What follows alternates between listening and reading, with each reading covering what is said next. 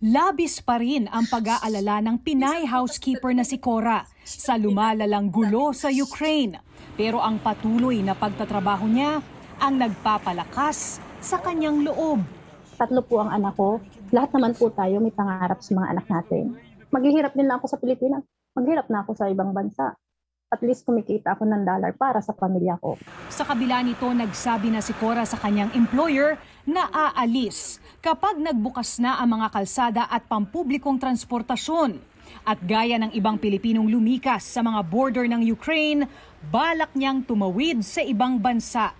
Nilinaw naman ng Labor Office ng Pilipinas sa Czech Republic na may jurisdiction din sa mga bansang Ukraine, Poland, Latvia, Lithuania at Estonia na border control lang ang niluwagan ng mga bansa sa Europa at hindi ang requirements para sa pagkuha ng trabaho.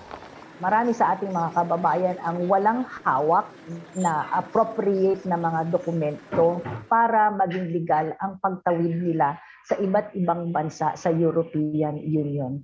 Gaya nga ng sabi ko, kinakailangan meron silang entry visa pa, for the purpose of getting a work permit. Okay, so kung ganon, ayaw natin na mapapahamak ang ating mga kababayan. So ang best option sa ngayon ay uh, magpa-repatriate. Ayon kay Perez, may ilang uri ng tulong na pwedeng pagpilian ng mga Pinoy sa kanilang pag-uwi. Tulong pinansyal, pangkabuhayan o di kaya ay redeployment bilang OFW pa rin sa ibang bansa.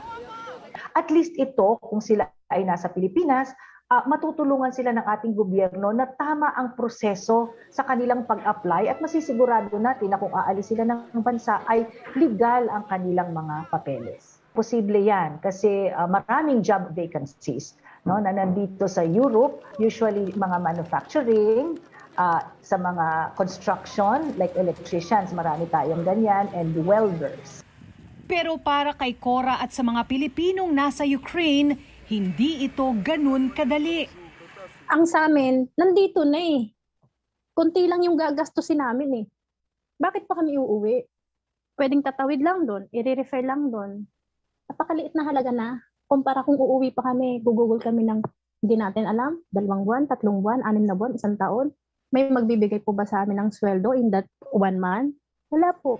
Sa tala ng Department of Foreign Affairs, 45 Pilipino sa Kiev ang ayaw pa ring lumikas. At kahit 250 ang nagpalista, para sa repatriation, labing siyam na Pilipino pa lang ang nakauwi talaga ng Pilipinas.